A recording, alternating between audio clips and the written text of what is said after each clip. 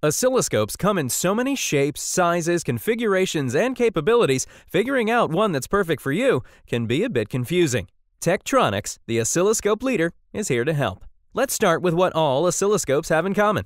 All oscilloscopes graph signals over time. The key to any good oscilloscope system is its ability to accurately reconstruct a waveform. In this way, an oscilloscope is like a camera. It captures signal images that we can then observe and interpret.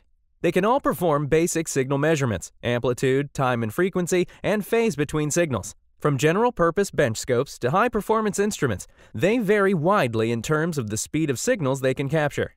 This depends on bandwidth and sample rate, and capabilities, such as number of channels, types of signals, and built in measurements. You'll probably see different models referred to by their acronyms, such as DSO, DPO, MSO, or MDO. These stand for Digital Storage Oscilloscope, digital phosphor oscilloscope, mixed signal oscilloscope, and mixed domain oscilloscope.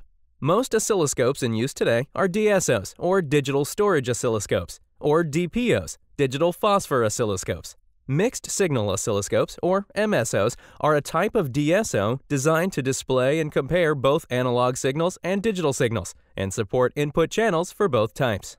Mixed domain oscilloscopes, or MDOs, from Tektronix are available with real built-in spectrum analyzers, something unique to us. Whatever scope you choose, it should not only match how and where you work, but also accurately capture your signals, have features that expand your capabilities and save you time, and give you complete confidence in your measurements. To learn more and to dive deeper into the factors you need to consider when choosing between the various types of oscilloscopes available, visit the Oscilloscope Leader at www.tek.com.